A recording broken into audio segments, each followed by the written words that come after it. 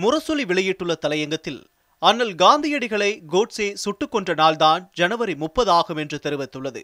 அண்ணல் காந்தியின் வரலாற்றை சொல்பவர்கள் அவர் கொலை செய்யப்பட்டு இறந்தார் என்பதையும் சொல்ல வேண்டும். அதுதான் அவருக்கு செலுத்தும் உண்மையான அஞ்சலியாக இருக்க முடியும். எதிர்காலத்தில் மதவெறி பரவாமல் தடுக்கும் வழியாகவும் அது இருக்க முடியும். அண்ணல் காந்தி கொலை செய்யப்பட்ட அந்த நாளில் அவர் விரும்பிய மத நல்லிணக்க உறுதிமொழியை நாடு முழுவதும் அனைவரும் எடுக்க வேண்டும் என்று திமுக தலைவரும் தமிழ்நாடு முதலமைச்சருமான மு ஸ்டாலின் ஸ்டாலின் கேட்டுக்கொண்டுள்ளார்.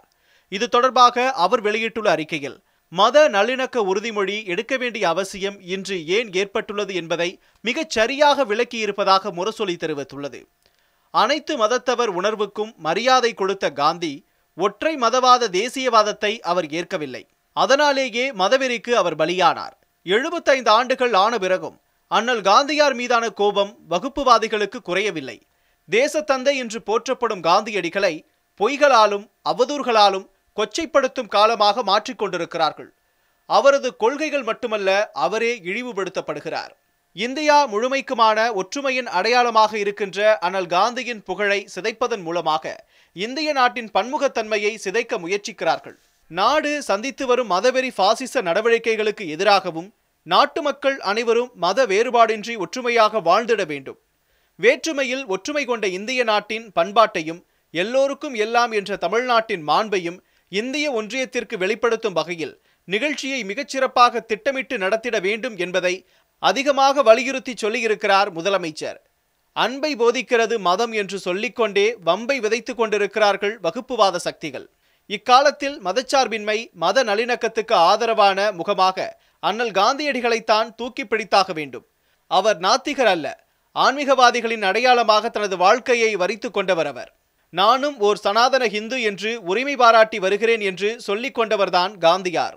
ஹிந்து தர்ம சாஸ்திரங்கள் அனைத்தையும் ஏற்றுக்கொண்ட அவர் வேத காலத்திலிருந்த வருணாசிரம தர்மத்தில் தனக்கு பெரிய நம்பிக்கை உண்டு என்றும் சொல்லிக் கொண்டார். இத்தோடு அவர் நிறுத்தியிருந்தால் அவரை வகுப்புவாதிகள் ஏற்றுக்கொண்டிருப்பார்கள் என்று முரசொலி கூறியுள்ளது. இந்தியாவில் இந்துக்கள் மட்டுமே இருக்க வேண்டும் என்று இந்துக்கள் கருதினால் அவர்கள் கனவு காண்பவர்கள் ஆவார்கள். இந்தியாவை தங்கள் தாய் நாடாக்கி கொண்ட இந்துக்களும் முகமதியர்களும் பார்சிகளும் கிறிஸ்துவர்களும் சகோதரர்கள் ஆவார்கள் என்றவர் அவர். முகமதியர்களை கீதை படிக்கச் சொன்னார் இந்துக்களை குரான் படிக்கச் சொன்னார். போலி குருமார்களின் போதனையை கேட்காதீர்கள் என்று வேண்டிக் கொண்டார். எந்த சமூகமும் தனது நம்பிக்கைகளை அடுத்தவர் மீது திணிக்கக்கூடாது என்றார். சூத்திரர்கள் வேதங்களை கற்கக்கூடாது என்ற தடையை நான் ஆதரிக்க முடியாது. நாம் அந்நியருக்கு அடிமையாக இருந்து வரும் வரையில் நாம் எல்லோருமே உண்மையில் தற்போது சூத்திரர்கள்தான் என்று சொன்னவர் காந்தி. இரு தேசியங்கள் இந்தியாவில் இருக்கிறது என்று சாவர்கர் சொன்னபோது இரு தேசிய இனங்கள் எனும் கொள்கை பொய். இந்திய இந்துக்களும் முஸ்லிம்களும் வேறு வேறு இனமல்ல என்றவர் காந்தி. மதவாத எண்ணம் தோன்றினால் நாடு விஷம் வழிந்தோடும் தேசமாகிவிடும். ஆனால் நான் கனவு காணும் நாடு அன்பு நதிகள் வழிந்தோடும் நாடாகும் என்றவர் காந்தி. இன்று அவர் தேவைப்படுகிறார். அவரது கருத்துக்கள் தேவைப்படுகின்றன. அவர் நினைவு கூறப்பட வேண்டும். அவரது நினைவு நாளில் உறுதிமொழி எடுத்துக்கொள்வோம். மனிதநேயம் காப்போம். மதவெறியை விளக்குவோம். வேற்றுமையில் ஒற்றுமை காப்போம். நமக்குள் உள்ள பிளவுகளை விளக்குவோம். மதவெறி சக்திகளை வேறறுப்போம். பிளவு படுத்தும் சக்திகளை வேறறுப்போம். பிறப்போக்கும் என்பதே நமது அறமாகும். யாவரும் கேளிர் என்பதே நமது பண்பாகும். அமைதியான இந்தியா வேண்டும். வகுப்புவாத இந்தியா வேண்டாம். அனைவருக்குமான இந்தியாவை உருவாக்குவோம். ஒற்றுமை இந்தியா வேண்டும் என்று முரசொலி தலையங்கம் எழுதியிருக்கிறது.